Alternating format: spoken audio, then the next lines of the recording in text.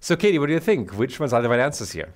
The right answer, so the, the ones that do need rescaled features will be the SVM and the k-means clustering.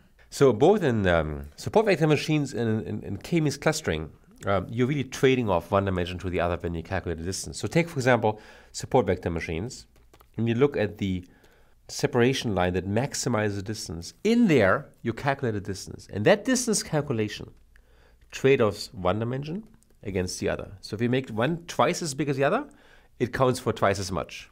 The same is true, coincidentally, for k-means clustering, where you have a cluster center and you compute the distance of the cluster center to all the data points.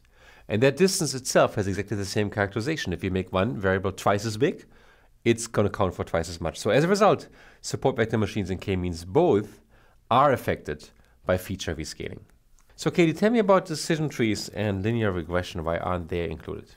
Decision trees aren't going to give you a diagonal line like that, right? They're going to give you a series of vertical and horizontal lines.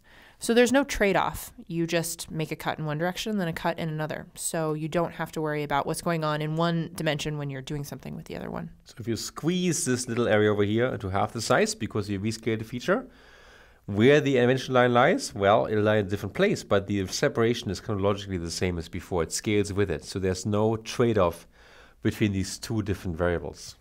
And how about um, linear regression? Something similar happens in linear regression. Remember that in linear regression, each of our features is going to have a coefficient that's associated with it. And that coefficient and that feature always go together. What's going on with feature A doesn't affect anything with the coefficient of feature B, so they're separated in the same way. In fact, if you were to double the variable scale of one specific variable, that feature would just become half as big and the output would be exactly the same as before. So it's really interesting to see that for some algorithms, rescaling is really a potential. You can reuse it. For others, don't even bother.